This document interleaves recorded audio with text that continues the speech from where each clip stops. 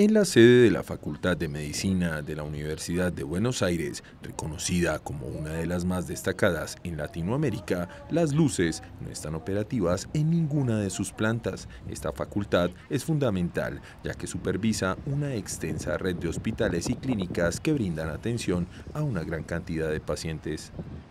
En pleno centro de Buenos Aires, esta mole arquitectónica, a menudo bulliciosa, tiene ahora un color más oscuro y por dentro luce como un laberinto en penumbra. Según la universidad, el motivo de esta apariencia es la política de austeridad que está acometiendo el gobierno del ultraliberal Javier Milei, contra la que sindicatos políticos y miembros de la sociedad civil se manifestarán este 23 de abril en una multitudinaria marcha.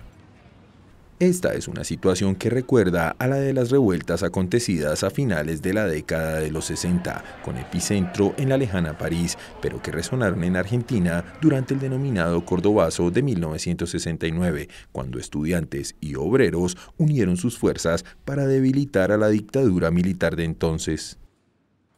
El escenario es totalmente diferente ahora. Las posiciones de mi ley sobre las universidades públicas gratuitas, incluso para los extranjeros, son una gota más en la cascada de mensajes que el mandatario difunde en redes sociales. Más allá de bravuconadas, el descontento del alumnado con el Ejecutivo Libertario se ha extendido a universidades privadas del país, como la Universidad Argentina de la Empresa o la Universidad Torcuato Di Tella, que también participarán en la marcha por la educación pública.